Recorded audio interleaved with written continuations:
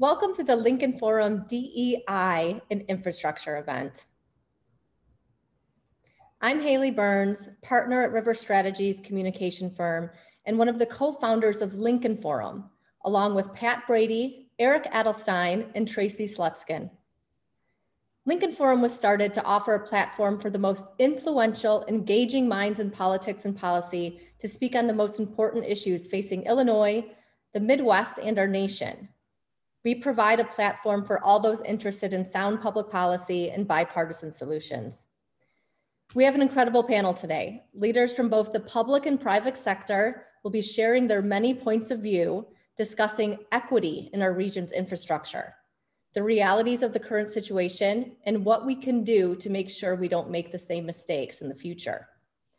During the panel, we encourage you to ask questions using the chat function we're gonna do our best to ask as many of those questions as we can. We'd like to thank our event partners, the Union League Club of Chicago and Politico, and our presenting sponsor, Wintrust Bank. Now I'd like to introduce Shia Kapos, political reporter for Politico and author of the must-read Illinois Playbook. Thank you, Haley, and happy Friday to viewers of the Lincoln Forum and any guests, our panel, and to Alex Daugherty, who writes Politico's transportation newsletter. And I'm very happy to see Illinois representing on this panel, panel too, Mr. Osman. Nice to see you. Uh, today's discussion on DEI couldn't be more topical for viewers across the country as states take on more construction projects made available through federal funding th- these conversations give insight to big companies and small companies alike. And we hope you come away with tips on incorporating DEI into the workplace. Thanks so much. Take it away. Hi, uh, I'm Alex Daugherty. I write morning transportation um, for Politico out of Washington, D.C. Uh, you can catch that every Monday for free, um, or if you're a pro subscriber, you'll get it in your inbox every weekday morning. Um, now going to introduce our panelists for today. Uh, first up is um, Omer Osman, who is the Transporta Transportation Secretary at the Illinois Department of Transportation. Uh, Omer Osman was appointed Transportation Secretary by Governor J.B. Pritzker in 2019. His role as secretary reflects three decades of experience at the Illinois Department of Transportation in engineering and management.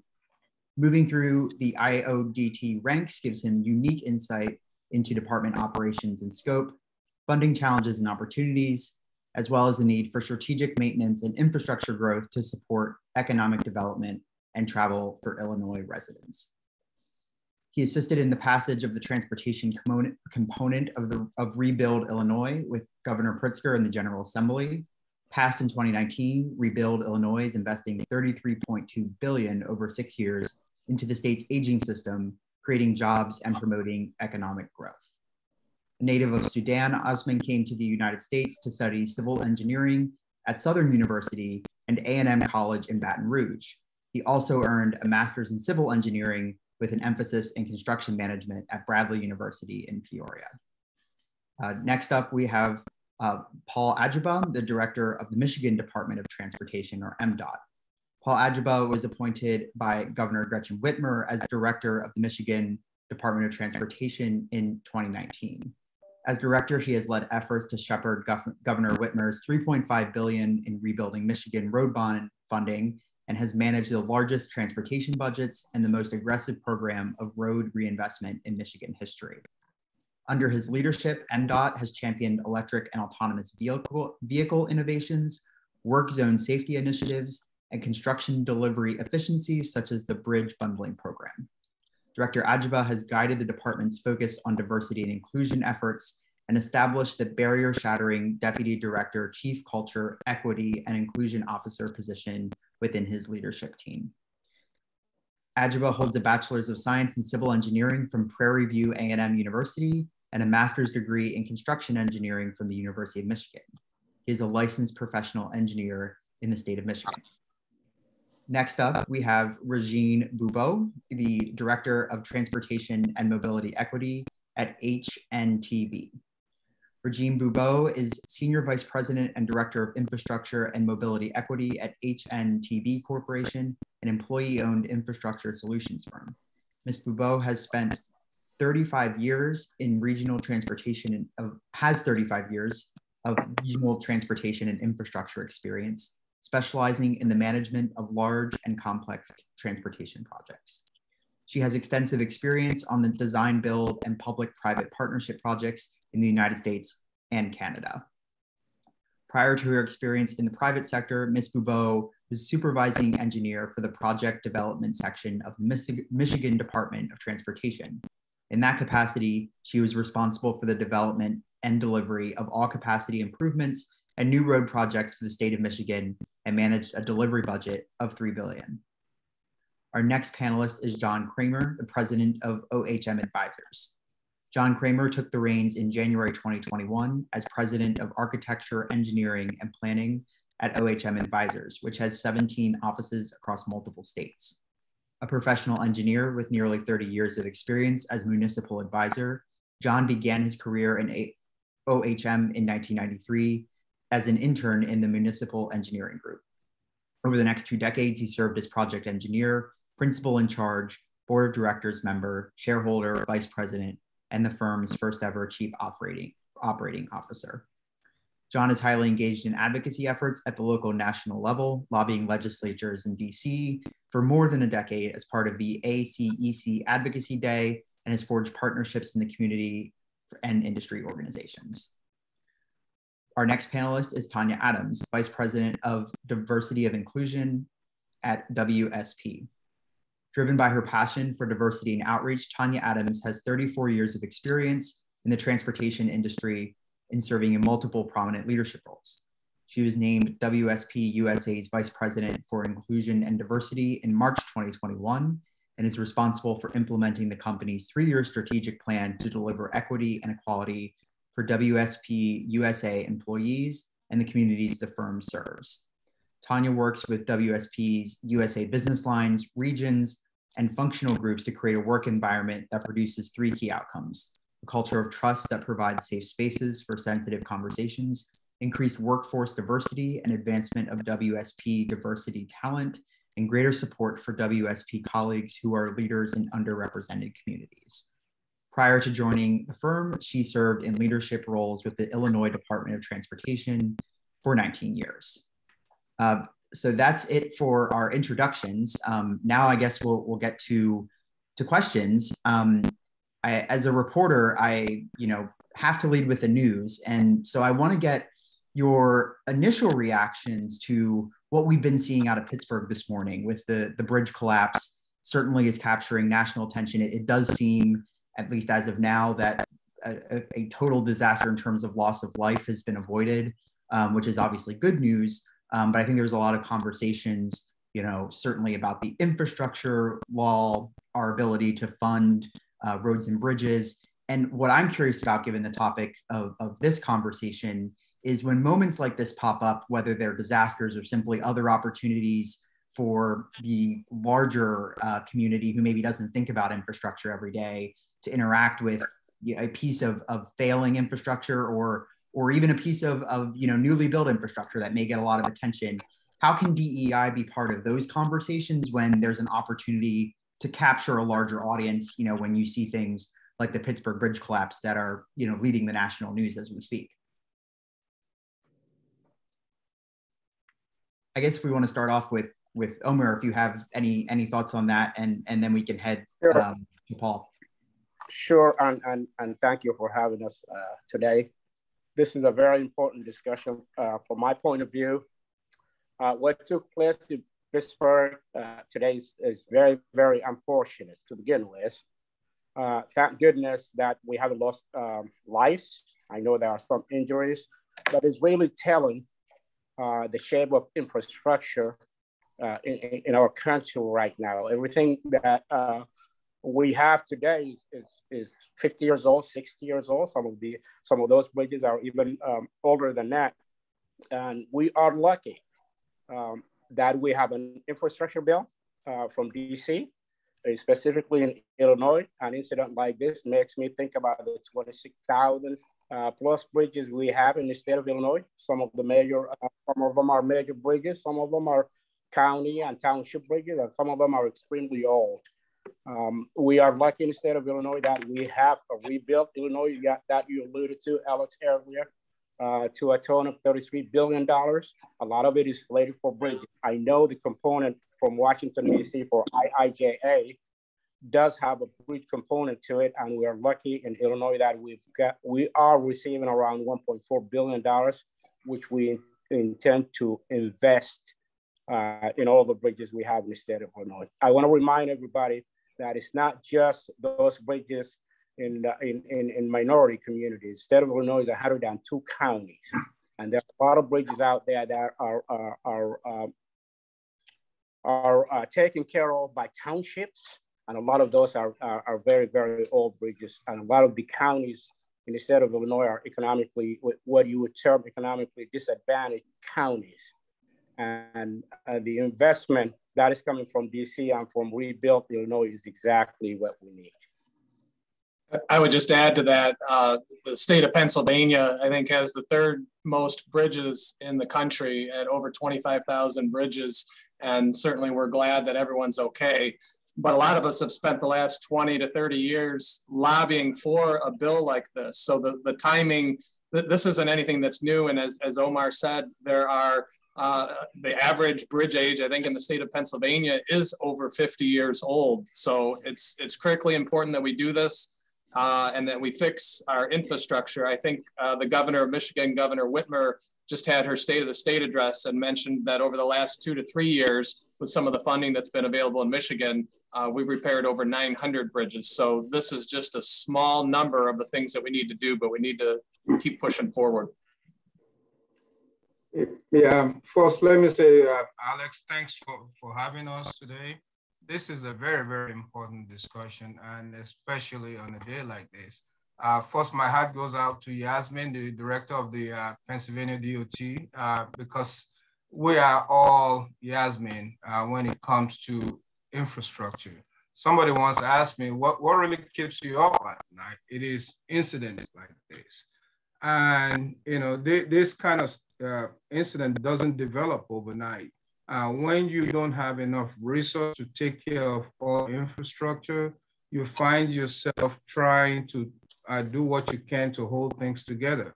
I'll give you a good example. We have a bridge out here in, uh, in our state in Wayne County, which is right next to a very major uh, Ford uh, uh, plant, Miller Road.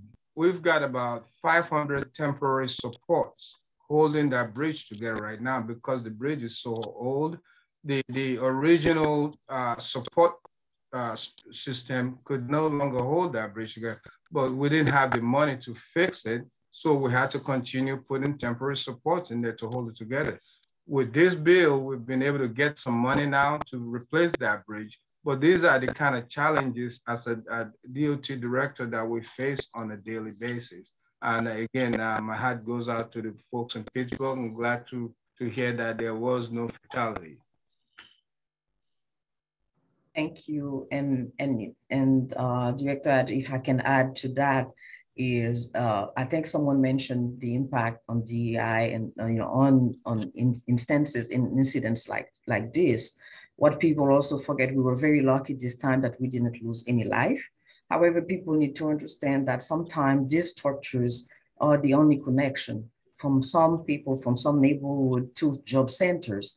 And when these things happen, they do impact livelihood uh, of you know workers, regular workers in, in America. So I think that that's another thing to remember is we're lucky, yes, we don't have a loss of life, but what else does that mean? For some communities to have lost access to maybe economic centers, you know, also and social uh, services. And uh, this is why transportation is really uh, primary, central to the quality of life that we enjoy here. It is why it is so important that the IIJA, it took almost 20 years of lobbying for this to happen, but um, it is overdue. And we're hoping to, like in Michigan, we have the Bridge Bundle program and some of those uh, instances where we are prioritizing all of these critical repairs. And so we're hoping that that will help us at least to, you know, move up a little bit in terms of the quality and the also the structural state of some of those structures and the system that we are riding on every day. I have to echo everything you just said, Regine. Um, I'm so um, happy that there was no loss of life, but that quality of life and the time um, that parent who is taking their kid to school or trying to pick up their kid um, or trying to get from here to there has been disrupted. Um, and when that happens, it's just spiral things that keep going on. Um, so we just have to be mindful and happy that we have this infrastructure bill and take each project in a priority order that um, I'm sure both the directors know which of their bridges uh, need more attention to, uh, and we'll be addressing that. But it does affect the quality of life and just the fact that um, everyone who uses that bridge now has to find a different way and means to get in there. You just don't fix it overnight and say it's back up again. So yes. Well, and I wanted to follow a bit up on, on what you just said, Tanya. I think Regine brought up as well. When you have, again, these, these big moments uh, of, of failures of our system, and you know, it isn't just the bridge collapsing and, and the repair effort that might be involved. I think we all saw there was an image of a public bus on, on the bridge this morning. You know, those are folks that use that bus line that if that bridge is now closed for six months, let's just say, um, it's it's definitely a bigger challenge than someone who might have access to their own private vehicle um, to deal with with you know a major artery potentially being in, inaccessible. Um, so I'm curious in, in in certain instances like this, um, when there you know the impacts on certain communities are, are going to be a lot higher the longer term impacts beyond you know the, the cleanup and and repair effort. In what ways can officials and, and other folks in the infrastructure community bring up these issues of you know equity of access um, that certainly pop up on a lot of these cases but may not be top of mind when the actual incident at hand is is top of mind um, on a day like today i think the big thing is that um, talking to the people who live in that community who use that bus, who use that train, talking to them and reaching out. It's easy for me to say, oh, do X, Y, and Z. But if I'm not one using it, it's hard for me to say. So it's that community outreach. It's that citizens group out there. It's the, the local alderman or mayor who is ever there, connecting with the people who are truly affected by it. It's easy for me to say something else, but that's when you get to that grassroots and finding out what's going to help this particular community at this particular time with this particular incident. I think it is key. I, I, think that's that's right on, Tanya. The, the infrastructure bill is an incredibly important first move to start unraveling the inequities in the US highway system and, and urban centers. And it's kind of launching a new era of infrastructure planning with new ideas and principle.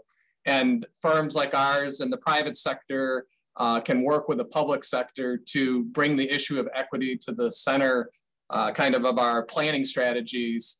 And like you said, you know, our firm is expanding its network of community partners and researchers and leaders of grassroots organizations and analysts and others who have really been at the forefront of addressing the issues of equity. So this, this is really just the beginning. And as an industry, uh, we can kind of hone the best practices and establish new ways of, of thinking about our infrastructure in the country. But as you said so eloquently, Tanya, it's about the people and, and reaching out to the people in the communities to see what they need. Did that bridge have a sidewalk where people could walk across it? Uh, could, could people uh, ride their bikes across it or was there not enough room? Uh, before we build it back, we wanna make sure we take all those things into account. Absolutely, and if I may add on to that, um, I agree with both of you. Uh, on that notion of it's about the people, uh, from my vantage point, at least uh, that I think of it in terms of a policy. I think Alex, you mentioned a, a bus on the bridge, and which I have seen um, on news too. And that makes me think of the multimodal nature of our infrastructure. It's not only about that bridge, it's about that bus, it's about that uh, metro ride, or it's about that CTA in Chicago. Uh, a lot of time in urbanized areas, specifically minority and disadvantaged uh, uh, areas, the only ride that's available is if that uh, passenger rail, if that CTA line, and that's and this is specifically um, for our essential workers. And if we don't take care of, uh, of, of other modes of transportation and just concentrate on, on highways and bridges, I think we, uh, we, we, we're going to be failing our own people. There's got to be some equity um, in, in, in the way we fund all modes of transportation. It's got to be looked at holistically. And I know the IIJA and, and Rebuild Illinois um, is taking us in that direction in a good way. So I'm happy, happy to see that. But this incident today just illustrates how critical it is, our infrastructure is and how multimodal, everything is interconnected in a multimodal way, if you, if you think, think about it from that perspective. Yeah, I, and I have to jump in and agree with Oman that uh, a multimodal uh, uh, transportation system to me it's also a public health issue. When you build a system that has wide sidewalk, bike paths, and you know a good uh, transit system along with it, you you the equity piece. That means people can get out of their homes and walk, you know, uh, ride their bikes, and feel a, a, a sense of uh, belonging, and part of the, the community. So the the to have a, having a multimodal uh, uh, transportation system, I think you know it's it's all about the equity and inclusion.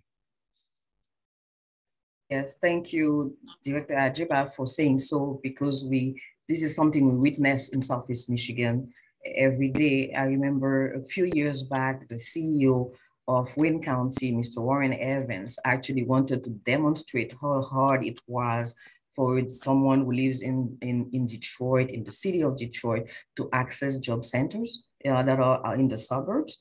And he left downtown Detroit to go to a job at Best Buy in Novi. It took him two hours to reach his destination. But not only that, as you mentioned, Director Ajegba, it wasn't just the fact that it took him two hours, but he had to stop, walk sometimes alongside highways where people were speeding at, you know, really at high level of speed. And also there were no sidewalks. So that was dangerous, that was time. And so uh, very often we wonder about people want working and wanting to having access to work so that you know, so that we can enjoy a better quality of life for everyone. So multimodalism is very important. Access for all is extremely important, but I think it's also in how we do it. I think very often we as engineers, we come somewhere, we, we try to, we see a problem. The first thing we do, we say, oh, we have a solution, we're going to solve it. And I think we need to stop and then we need to, you know, involve the community into the process we call co-creation. So they identified what their needs are and the solution that work best for them. And, and in doing so, then the system will meet their needs and where they what exactly they need. And, and I think sometimes we need to stop and think, yes, we know we don't have all the answers. What we do have is the technical skills to bring these answers to reality, to build a better environment. But we have to take clues on what actually we should be building from the communities for which we build that last mile is, is a real issue out there truly when you're trying to come out to the suburbs from a major city or just trying to get somewhere for employment opportunities. It's, it's a critical issue. I guess I just wanted to, to piggyback on something that was brought up uh, toward the end of this discussion, but you know, and, and maybe moving away from from the news of, of, Pittsburgh, but when you're you're talking to community groups, external groups outside of you, state departments of transportation or folks who are engaging on these issues on a day-to-day basis how um, whether that's in the public sector or private sector can leaders incorporate dei into both their project selection and the way holders are consulted as part of this process? Especially i'm just thinking you know of a highly organized you know neighborhood association from a wealthy neighborhood that may have the means and ability to you know get someone's attention in a way that you know groups that are historically underrepresented um, across all facets, facets of our society um, may not just have the ability to organize and and get that attention or or show you know hey here is what we as a community value in you know this new infrastructure project or you know these repairs that might be coming down the pike how can how can leaders like all of you on this panel incorporate groups that may just simply be harder to reach and harder to talk to? I think um, so. When I look at that at my firm, OHM Advisors, this is our 60th year in business, and it was about 10 years ago we saw an opportunity to bring planning and architecture and engineering under one roof. And, and when I think and look at how things were designed 50, 60 years ago, it was all about just the engineering and, and moving traffic from point A to point B. Um, but, you know, starting about 10 years ago, and, and we call ourselves the community advancement firm uh, with the goal of putting people first, which is a central component uh, of what we're talking about today.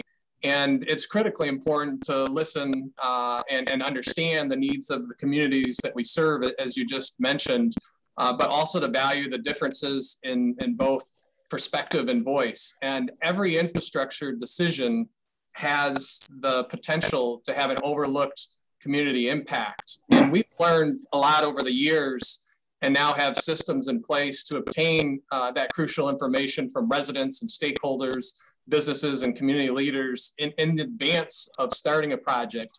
And I know one of the jobs in Michigan that is often talked about is I-375, uh, which you know brought a, a, main interstate right into downtown Detroit, but it just blew up a neighborhood, uh, which is referred to as Black Bottom neighborhood. And the types of impacts that we're talking about when you when you cut a neighborhood in half, uh, where were the restaurants? Where were the barber shops? All of that kind of commerce. When you throw something down the middle, it makes changes. And we think that uh, today is just a great time to be able to fix some of those wrongs that that were created. And to, to, to Jon's, Jon's point is that th those kind of decisions that were made then without the, the, the community's involvement, uh, you know, the I-375 Jon mentioned uh, that blew up the, the Black Bottom uh, neighborhood, you also destroy generational wealth, right? The, the, the barber shop, the, the uh, cleaning cleaners, uh, you know, uh, the, the movie theater, whatever they never got a chance to transfer that wealth to the next generation and the next generation after them. We, we may have paid them an equitable amount for the for the property at that time, but what, not having them been part of that decision, I, I think it's something that we are now learning. We can't make those kind of mistakes anymore. And it starts with, with planning. Uh, the planning process, I think it's gotten way much better than the 60s when I-375 was built the planning process now is a, it's an inclusive process. You have to get the community uh, uh involved and, and, engage them in what what you're trying to do. And most times, when you put your environmental documents together, the, the, the feds wants to make sure that you, you've checked all the boxes and before you, you can move on to the next step. So I think we, have gotten better, been more inclusive but uh, the, the equity piece is still something that we, we uh, our generation and next generation has to continue to work on. You know, it's interesting because we have these projects all across the country. If you look at, at Illinois, I hate to say this, uh, Secretary, but 290 that goes through the west side of Chicago and it hits some more wealthier areas. Um, the fact that you have the ramps getting off in a certain area or not going through communities, which is limiting the amount of um, economics that are going through there, which means right. you have more poverty, you have more crime, uh, your taxes are down and low, and no one's moving into those communities. So I don't know if you want to touch on 290 at all. I think you've done a good job touching on it. However, um, 290 is, is about 13 or 14 mile section um, a, a, on the west side of Chicago that takes over 200,000 cars and it goes through several neighborhoods, several uh, uh, neighborhoods, some wealthy, some not wealthy. And, and it truly uh, divided communities out there historically. Uh, a lot of the, especially the not so wealthy neighborhood, they look at 290 at their main street. But 290 is so old and it needs to be just redone, overhauled. Um, there is a blue line uh, CTA uh, uh, line that goes right in the middle of, uh, of 290 that needs to be overhauled. That's a primary mode of transportation for a lot of people uh, in around, uh, around 290. It's a crucial project for us. But that's a perfect example, similar to what Paul and Jon were talking about in, in Detroit, of how we need to rethink. Uh, it's not just removing the pavement. It's not just uh, you know removing that bridge and putting the same bridge in place. It's how you collectively, in a multimodal way, uh, you know, uh, do the do the biking, do the walk. 13 mile stretch that could take you all the way down to Lake Michigan, beautiful Chicago. Uh, that that whole area is just complementary to uh, to a historic city like uh, like Chicago. Historic neighborhoods, a lot of it is um, African American, a majority African American neighborhoods that have experienced a lot of floodings too, uh, just right adjacent to 290. So when we we hope when we redo I-290, we not just redoing I-290, we are redoing uh, some of the uh, adjacent streets. We are redoing the drainage system, and we are enhancing the quality of life uh, for the Maywoods, for the uh, Briarwoods, and, and, and the likes. So that's I, a perfect example. Thank you. Yeah, Thank I, you. I think. And I was okay. Sorry, I'm sorry, Jon. No, I, I was going to mention that. Uh, yes, it starts with the community. They have to be involved in the process. But one thing we don't want to forget either is that transportation, the transportation industry is a big engine of development and wealth generation. And so those solutions, you know, for the community, with the community, that's not just enough. We also need to look at how do we spread a lot of that wealth. I'm referring here to transportation, to hubs, which is historically underutilized businesses. How do we bring them into, and so they can also benefit from uh, the IG and the bills and the wealth generation that that you know the transportation industry brings about. So I think that's also a very important piece of it is because even for the IG, we were reminded the other day by the US Chamber of Commerce that minority businesses, women-owned businesses were instrumental in passing, in helping to pass the IIJA. And so as a result of that, we really need to look at their involvement as not just an obligation or a requirement, but as a matter of fact, as a key differentiator in how we do, we, we deliver work. And also that helps the community in which we're working to be able to have young children see themselves in the people who are bringing solutions to those areas. And so they see themselves, they get motivated, and then we can attract more, uh, you know, children from the socially, you know, uh, from the social, economic, socially, you know, uh, disadvantaged class, you know, from uh, to participate because we have a lack of talent. We know that we're all fighting for the same talents. We have a large bill. We already, and that's another issue also we want to talk about is how do we open doors so that people can build and that generational wealth and, and access opportunities. Workforce development is one. How do we teach people apprenticeships and also development of skills certification so that they can participate in this renewal of their neighborhoods. And I think that's a lot of things. And what are the projects that we prioritize? Are those multimodal? Are those that help us give access to center job centers from people who usually don't have? So I think there are other areas of influence that we also need to look at in order to really move the needle on equity in transportation. Thank you. Alex, can, can I just step in on something really quick yeah, uh, that Regine just brought up? It's the fact that both Michigan and Illinois both have excellent training programs. Um, uh, Michigan has their TDP program, Transportation Diversity Recruitment Program. IDOT has their HCCTP, Highway Careers and Construction Training. And all of this is needed to make sure that we have equity, equality, inclusion, and diversity. The other component is working with our grade schools we have a project in Chicago called Create. It's a real project and it butts behind four grade schools.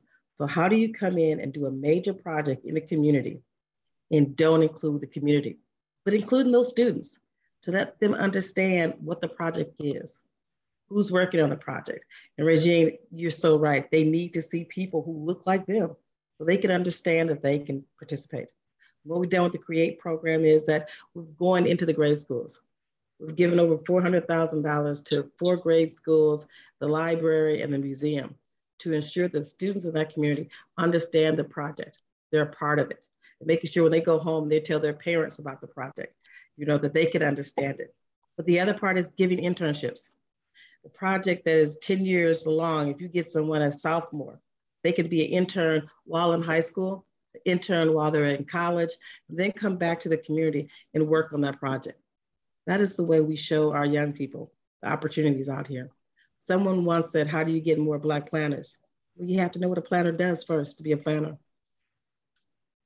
Absolutely, Tanya. And, and one of the things that we did, uh, I signed the, the CEO Action for Diversity and Inclusion Pledge uh, in 2020 on behalf of OHM. And that really publicly proclaimed our uh, diversity and inclusion goals, which including uh, cultivating diverse talent in the industry and students, as you mentioned, in, in high school. And we're real proud. We've given away $50,000 in total scholarships uh, just since 2018. And I think we've uh, given those to uh, something like 39 students. And providing high school and college interns that are interested in STEM careers firsthand uh, experience by working uh, with the various disciplines at our firm. And I'm, and I'm glad you mentioned the TDRP because I, I, know certainly for Michigan, uh, MDOT and Director Ajegba kind of pioneered that. Uh, and that partners with HBCUs, uh, historically Black colleges and universities. And it really helps offer uh, training and job shadowing to the undergrad students that are pursuing engineering and other transportation related careers and uh, you know recruiting and training and cultivating a diverse group of talented experts. Uh, you know our work is is grounded in the need to help communities as i've mentioned and, and solve problems uh, that make places better for all. Uh, and, and we realized that it, you know in order for our, our dei action plan to be successful we need to look at our, our mission internally uh, as, as well as as externally if I may, uh, first of all, Paul, I, I truly applaud you and applaud your effort uh, on the program you have. You know, you um, I know you and I talked about it, and I'm, I'm trying to implement the same thing here in Illinois. Um, it's a great program, especially uh, you and I both graduated from uh, historically Black College in Prairie View and Southern University. Um, and it's incumbent upon, upon us to reach out and, and, and, and diversify our ranks, especially on the technical side, uh, from historically Black colleges, from uh, colleges that has uh, the majority Hispanic uh, students and the like. You know, we need to diversify. It's really crucial. Uh, our internal um, workforce and our internal uh, employees must look like the state we, re we represent. Tanya, you did talk about the HCCT program. It's a great program for us if I may highlight that just a little bit, uh, is, is a joint effort between us and, and, and federal highways. We, um, we actually support 12 community colleges uh, where they actually do a 10 week intensive course, especially in, in disadvantaged areas, uh, where we're trying to get um, uh, uh, the people to join the trades, be it be a carpenter, be a laborer, or be a, an operating engineer, whatever it is. But we give you that tool, um, and hopefully we, we, are hoping that they'll join the transportation rank. They'll uh, they'll work in transportation uh, for us. But that is not necessarily what we're asking them to do. We want we if they want to go and work somewhere else and use that uh, uh, experience and that learning that they just had, and that's fine by us. All we are uh, trying to do is trying to get them to a point where they could get uh, some gainful um, employment and where they could uh, create that uh, wealth and create a family that Regine talks about. So I'm glad you mentioned uh, the HCCTP. It's a great program for us and, and we're gonna continue to do that. Well, I, I agree with all the panelists here and I'm, I am I have no doubt everyone on this panel is very committed to having a diverse workforce. Having a diverse workforce starts with leadership. And if the organization sees that the leader is committed to this, it trickles down in the organization. Uh, workforce development is something we've taken very uh, seriously. And we we go out aggressively and recruit um, and as Omer said, we know um, last year we had almost 60 students here in Michigan from all walks of HBCU uh, schools. we know we're not going to hire all of them. But if they can leave Michigan with the training, they can use that to get jobs in wherever state they would like to stay at. Tanya mentioned, uh, uh, how do you, you know, uh, what, what does a planner do? The only way you expose students to this is by having them touch it, feel it, experience it. Then they'll decide, yes, this is probably a career I want to get into. But without that, that, that strong emphasis at the top, it, it, it does not, it, it, then you're going to see a missing link there somewhere. The reason why we created the, the uh, uh, Chief Culture Equity and Inclusion position at a deputy director level is because we wanted to show the organization and our external uh, stakeholders that this is very important moving forward. And as I mentioned earlier, it starts with planning. We, we put our planning division under this new deputy director because we believe everything, again, starts from there. And then uh, on the workforce development side, we also put that under the, the, this new chief culture equity officer. So again, it, it, it starts at the top and then it, it, it trickles down. I, I just wanted to add to that. One of the really eye-opening things on the TDRP program that, that we're working with MDOT and as well as a lot of the firms on the call, um, what was eye-opening to me is a lot of these students, and, and, maybe they're from Georgia or South Carolina or Louisiana, uh, they may not have a car or access to a car or be able to get a plane ticket and all these types of things. So when MDOT ran the program, uh, they were able to run it one way uh, but as we worked with, with Paul and his administration, uh, we were able to find different ways because because we weren't in a position to give every intern a, a truck per se, uh, but there were different ways where we could work with stipends and, and housing. Uh, but without providing some of these things, we don't have the, the access to those students.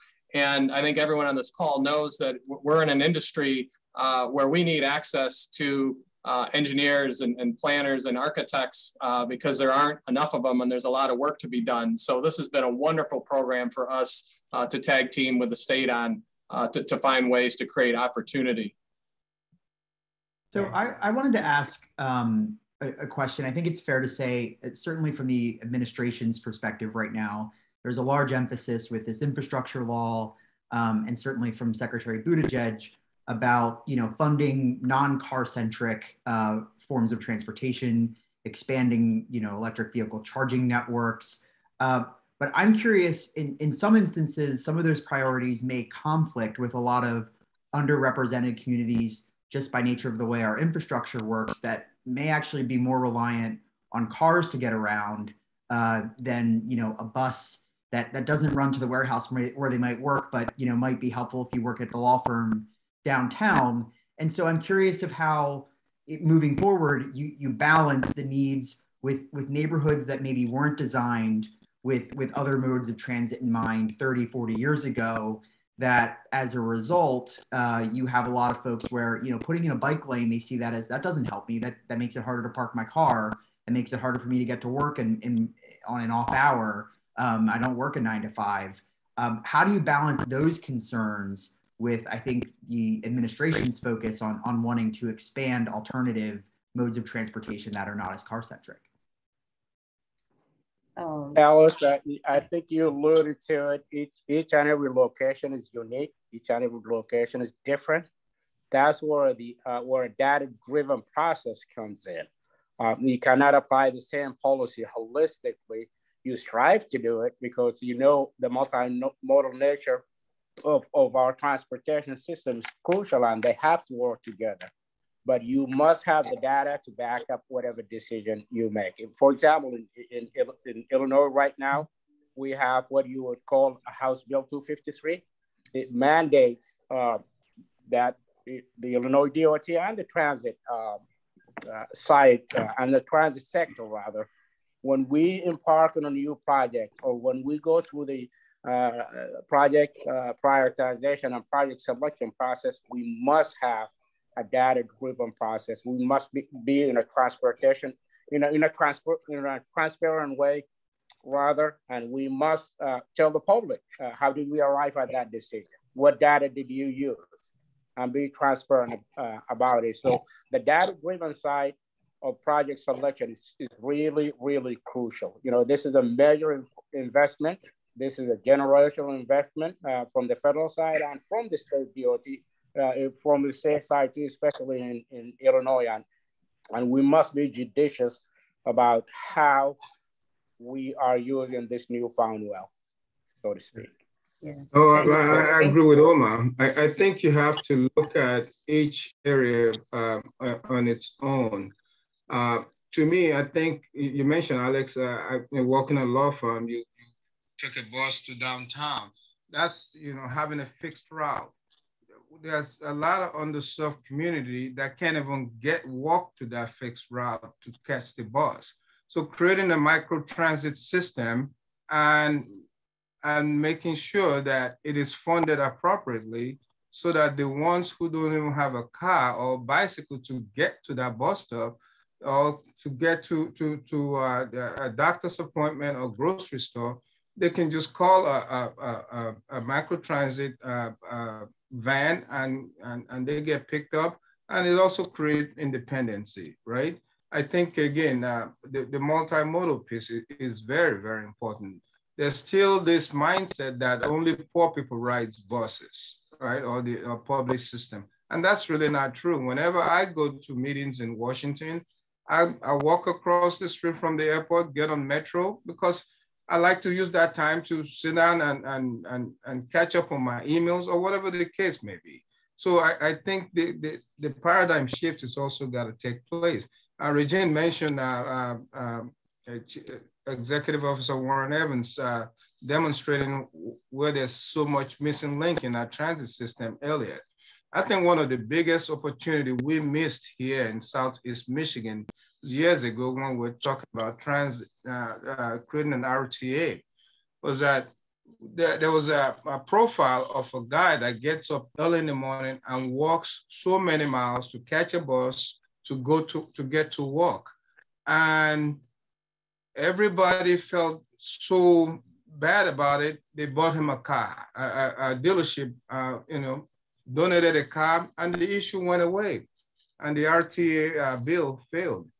But we did not take a deep, deep dive and look at this thing holistically. That how many of them are out there that are doing the same thing, that are, their story has not been told. So again, each area has its own unique uh, challenges, and that I think is the way we have to look at designing our system. I have Thank to, you, Director Sorry. Oh, sorry about that, Regine. I was going to say, as we talk about that gentleman, I live out in the Schaumburg area. When I first moved up here from Springfield, Illinois, you can get across Springfield easily. Well, it's less travel time. When I moved up here, I did not have a car. I lived less than three miles from the DOT. It took me two and a half hours by bus to get there. I had to go to the train station, which I was not going to ride the train to connect to another bus that took me to the mall, that took me close to the office, and then I had to walk the rest of the way. We have to look at each area differently and the needs of each person who are trying to get to where they're going to. It's essential. And I had a nice paying job. I just didn't have a vehicle at that time. So it, it's all economic levels who have that. Yes, thank you, Tanya. I, I just wanted to say that I don't necessarily see it as conflicting. I see it as an extension of the transportation network to make it holistic and to give people choices.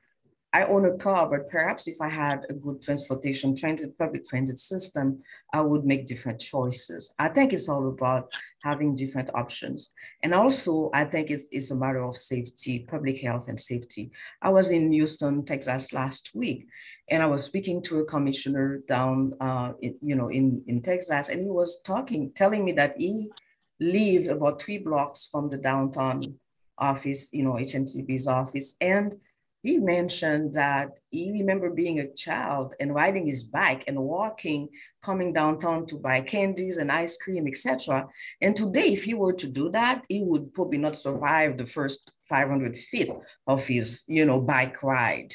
And that's when we talk about why can't we share the world, right? So we build now facilities that allow for a car to go as fast as it needs to be, but also provides, you know, infrastructure for someone who wants to walk and someone who wants to bike and have a healthier uh, lifestyle. I, I lived in Montreal for a few years. I worked on a P3 project there, and you'd be surprised the number of our employees and engineers who, or you know, planners, everyone working in the industry, who would actually drop their cars in the summer and ride their bike three, four miles in the morning and same in the afternoon to go to work and to go back and from. And so that really got me into thinking about, you know, why couldn't we? And my daughter who was at the time uh, who live who live with me because she was going to school when we returned home. And i asked her to invite her friends uh, to visit. She'd tell me but mom what am i going to do? How am i going to drive them around? Because i don't drive. I don't have a driver's license because as a result of living in quebec she never needed one. And so I, I think we sell ourselves short when we talk about you know, conflicting, you know, and we have priorities because even bikes and buses need good roads to travel on. So. I, I was just going to add to that. Uh, the good news, Alex, is our industry really has a lot of brilliant minds to help solve those problems. When you look at government infrastructure funding, it's historically been meant to make the economy work more efficiently and freeways and rail lines would speed the goods from factories to market and roads and transit systems would carry uh, workers from their homes to their jobs. But for many communities of color, uh, those projects devastated those existing communities, which really cut uh, Black neighborhoods off from downtowns and accelerated the uh, suburbanization trends and exacerbated, quite frankly, uh, segregation. So a lot of the previous government investment in infrastructure really uh, excluded these communities. So if we look at uh, where we really need to invest in infrastructure now, a lot of it is concentrated in these communities. So uh, while it's wonderful to say uh, that you know the historic advancement will advance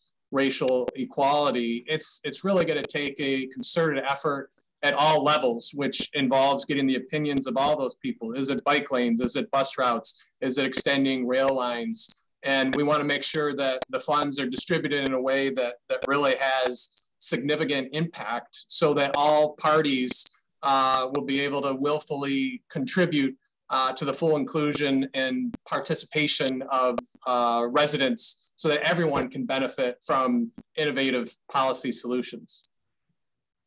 So I had a question uh, from the chat from, from Ellen, and I'm going to paraphrase a little bit here. Um, but she's interested in how the the infrastructure spending, especially the spending that's coming down the pike, is going to help with climate change mitigation. Um, and I would just add to that, you know, how does that intersect with with DEI initiatives that are present um, both in government and outside of government to make sure that you know infrastructure, new infrastructure that's being built or infrastructure that's being repaired or rebuilt um, is both resilient but also responsive uh, to, to different communities at different income levels? Oh, I, I think that's a great question, Alex. It, it's going to help tremendously. Uh, this past summer, uh, 2021, here in, uh, in Michigan, we had a 100 year flood and a 500 year flood within a, a two month period where our freeways were flooded.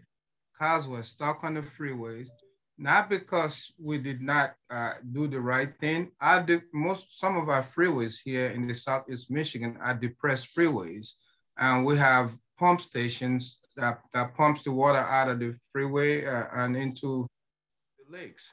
But when you have pump stations that have, have been fed by uh, electricity, it's like having a sump pump in your basement. When it when it rains, the, the sump pump uh, kind of pumps the water out but in this case, there was power failure, so our, our, our freeways got flooded. And even some of the ones that did not, that did, did have power, getting the water out of the, uh, out of the freeway was a little slower.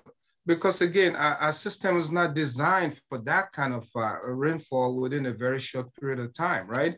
Our outlet pipes are like four inch, inch pipes. So with, with this new funding, we have to look at our new our design standards replace, you know, make the, the outlet pipes bigger. Uh, uh, again, uh, rethink how we, we, we get water off the freeway, maybe build a tunnel like what we're doing on, on one of our projects on I-75 uh, in, in Oakland County. So these, we have to continue to rethink how uh, our system operates. So this is, that's a, a great question. And I think it's going to cost a lot of money, but it's something you have to do systematically over a, a, long period of time. You just have to be committed to it. Right. Uh, and I absolutely agree. I agree with Paul on this. If I may take this from a different angle, I think Tanya, you mentioned create. Create project is a great partnership between the state of Illinois, uh, city of Chicago, Cook County, and, and, and the rail industry up in Chicago. Uh, it is it, it is massive. It is in its nature. It started back in 2003. We're halfway uh, through our projects, about 70 projects altogether. When Tanya talked about uh, the create projects uh, in some certain neighborhood, uh, we're talking about 75th CIP project is almost $500 million project. But what that project is doing to the neighborhood, specifically an African American neighborhood, is opening up the landscape. Now you're seeing a lot of great step uh, all over the place. Now you're seeing a, an ease of uh, people moving around and not being stuck waiting on a train to go by. Uh, from environmental perspective, of course, uh, that is less carbon uh, print for us. Um, it's easy access for people to get to where they need to go. Uh, a lot, you know, a better investment for that community. Uh, so it's, it's huge for us. And, and because of what we're doing on 75th CIP, and we have a lot more projects yet to come in our rebuild Illinois, uh, the governor and the uh, and IDOT have decided to include another 400 uh, million dollars so we could take care of the uh, of the rest of the create project. That is one aspect that uh, that is extremely helpful, especially on the uh, on the environmental side. Um, one other area that we try to concentrate on, specifically on the transit um, uh, side, is upgrading our buses, upgrading our transit uh, stations throughout the state. Just a couple of uh, days ago, uh, the governor have announced around uh, around 59 transit projects across the state of Illinois. A lot of them dealt with uh, some of the transit agencies having the ability to buy electric buses or having the ability to um, install a, a, electric bus charging station within their facilities. So that's the trend we are looking, that's the trend we are supporting. Um, and, and that's good uh, from a, a, climate change perspective for us. We have about uh, two to three minutes left. I, I just wanted to ask uh, quickly, probably to both um, commissioners on, on, the call here, um, when can we expect um, new projects or, or projects that are coming with the new federal dollars uh, to start showing tangible uh, effects, whether that's you know moving forward in, in terms of construction or rebuilding in, in Illinois and Michigan? What what would you say to someone who says, "Hey, when's when's this money going to affect my life?" Right, right. If I, um, if I may tackle that just a little bit. First of all, the uh, federal infrastructure bill is a five-year bill. It's not a one-year bill. Um, in state of Illinois, we have a six-year program. Uh, so between the six-year program and the five-year program from the federal side overlapping it, each and every um, April or May timeframe is one IDOT issues uh, the multi-year program. That's specifically on bridges and, and, and, and roadway side. We already bearing fruit from the federal side that the $1.4 billion I talked about earlier for bridges, uh, we getting our, uh, our first installment. It's around $275 million specifically for bridges. We're going to take that uh, new cash flow and incorporate that in our multi-year program. And that's what you're going to see every year. Uh, we, we anticipate to see that kind of cash flow, uh, depending on what line item we're looking at, whether it's for bridges, whether it's for roadways and, and, and, and other modes of transportation. So we should be able to see soon. Uh, the bridge, uh, the bridge funding side is clear for us others. I know our partners in uh, with FHWA and USDOT, they are working diligently, um, trying to do the rulemaking and, and, and they have been telling us uh, that in the near future, they're gonna be announcing the other line items uh, other than bridges. Uh, for, for us in Michigan, uh, we have a five-year program. Uh, uh, as Omer said, this bill is five-year period. So overlapping those together, obviously, with, with our current five-year program. And uh, with our governors, uh, as I mentioned earlier, this starts with leadership. We have a governor that's very committed to infrastructure. She gave us $3.5 billion when she came in and said, go out there and fix all these bad roads. We were talking about the Pittsburgh Bridge earlier. Right now in state of Michigan, we have about 59 bridges that are shut down because they can no longer carry that load of that, uh, the weight of that traffic. So she said, I want all these bridges open as soon as possible. And so uh, when you mentioned when we're going to start seeing construction on, on the uh, federal infrastructure bill, I would say by, by next year, you will start seeing some of these projects getting trickled out because we have a, a backlog of projects that we had already uh, uh, been designing and putting on the shelf anyway. Within that five-year program, we, we can start getting them out. And I, I think with the oversight issue, as Omer mentioned, we're still waiting for some of the details of, of, of what the bill will allow us to do or not do. Until we get all that in, I think uh, I, I would say probably closer to late next year before we start letting out projects with, with, the, with the federal money. Awesome. Well, thank you so much, everyone, for coming. I know we're, we're a little bit, a uh, couple minutes over time, um, but you know, we, we didn't bleed uh, too far over, um, which is always good. Um, so thank you so much for, for everyone for participating. Thank you for, for everyone who, who joined us uh, on a Friday afternoon. Um, I'm not sure what the weather looks like this weekend in the Midwest. Uh, I'm kind of right on the snow line uh, here in DC, although I think uh, I, I lucked out that I'm not in Boston this weekend. True. Thank you. Thank you for having us. Thanks, thanks for having us. Thanks, everyone. Thank you so much. Thank you. Bye bye. Have a nice weekend. Thank you.